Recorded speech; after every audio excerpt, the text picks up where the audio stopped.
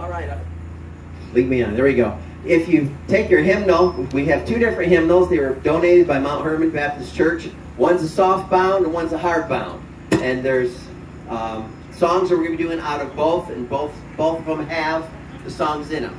So if you would first, if you have a hard bound, turn to page 107. If you have soft bound, it's page 63. Are you washed in the blood? Let's stand up together and sing it out before.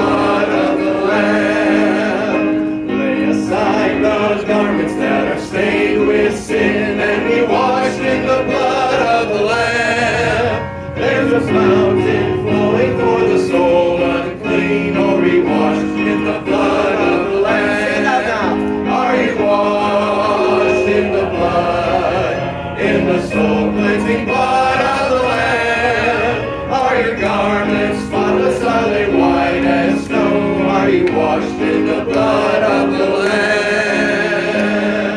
Amen. You may be seated. And that's a question that